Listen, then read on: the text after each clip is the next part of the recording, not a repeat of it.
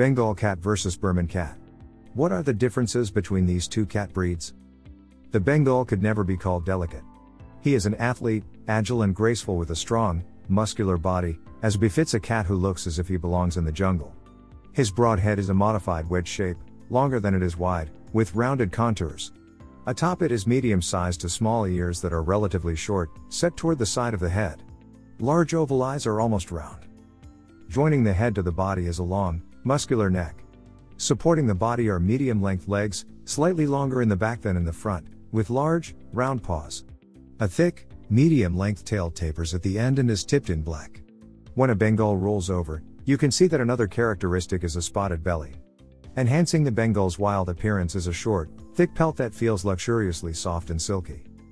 It comes in several colors and patterns, including brown tabby, seal mink tabby, black silver tabby, and seal silver lynx point. The coat can be spotted randomly or in horizontal patterns, or it can be marbled, with horizontal stripes arranged randomly on a lighter background. Some Bengals have a coat that is described as glittered. The fur shimmers in the light as if it were tipped with gold dust.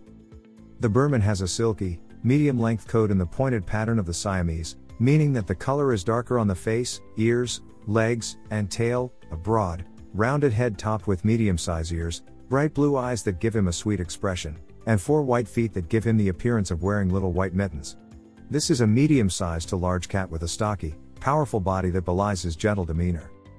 The medium long to long coat has a silky texture and little undercoat, which means that it rarely mats. It forms a heavy ruff around the neck and is wavy on the belly. A pale body, which varies in shade depending on the cat's color, is set off by darker points.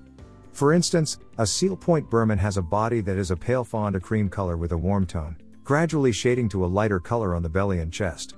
The points are a deep seal brown. On the front and back paws are white gloves ending in an even line across the paw. On the back paws, the gloves extend up the back of the leg, called laces, and end in a point or an inverted V shape. In the show ring, the symmetry of the gloves and laces is an important factor and may mean the difference between a kitten going on to a career as a show cat or as a pet. Besides seal point, Birmans come in blue point, chocolate point, lilac point, and various parti color point and lynx point colors. Lynx point Birmans have a clearly defined M marking on the forehead, light markings that resemble eyeglasses around the eyes, spotted whisker pads, solid colored ears with no stripes, and thumb marks on the back of the ears. The legs and tail have stripes and rings. Hello. This video is sponsored by Bemix Pets.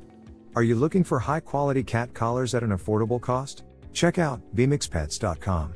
Use coupon code KittenLife to get 20% off. The Bengal is both energetic and clever. This makes him enjoyable to be around, although he may be difficult at times. Overall, the Bengal is a self assured, chatty, sociable cat who is always on the lookout. Nothing escapes his attention. He enjoys activities such as fetch and is an expert at learning new skills. His nimble paws are almost as good as hands, and it's a good thing he doesn't have opposable thumbs or he would probably rule the world.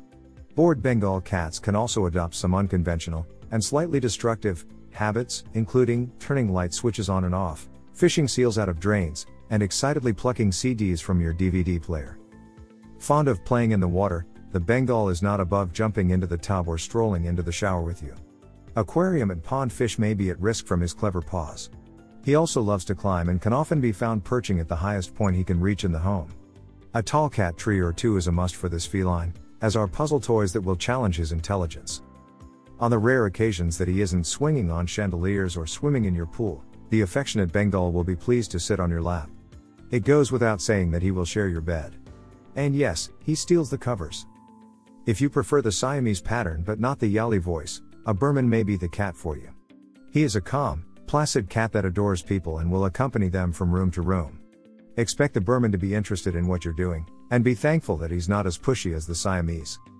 Docile doesn't mean dumb. The Birman is a smart cat and, of course, curious.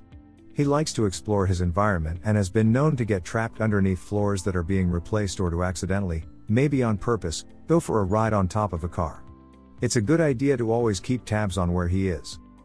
He communicates in a soft voice, mainly to remind you that perhaps it's time for dinner or maybe for a nice cuddle on the sofa. He enjoys being held and will relax in your arms like a furry baby.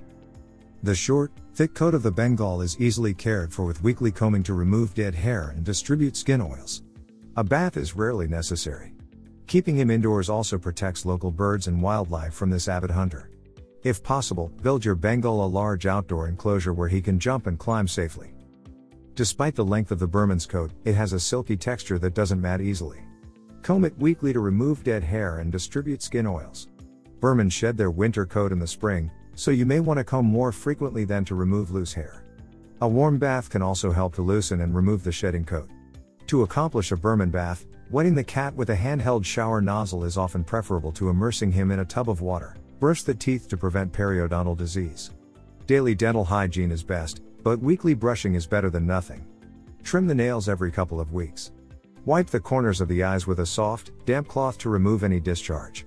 Use a separate area of the cloth for each eye so you don't run the risk of spreading any infection. Check the ears weekly.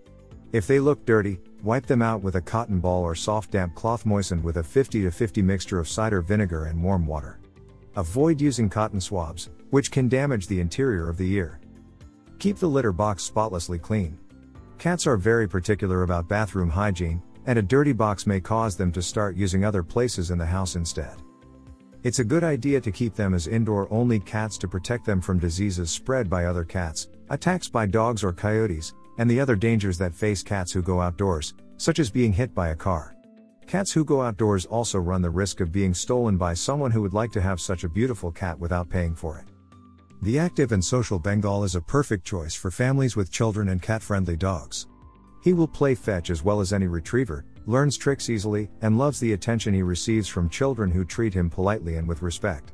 He's smart enough to get out of the way of toddlers but loves school age children because they are a match for his energy level and curiosity. Nothing scares him, certainly not dogs, and he will happily make friends with them if they don't give him any trouble. Always introduce any pets, even other cats, slowly and in a controlled setting. Like many active cats, Bengals have a high prey drive and should not be trusted with smaller prey animals such as hamsters, smaller rabbits, and guinea pigs.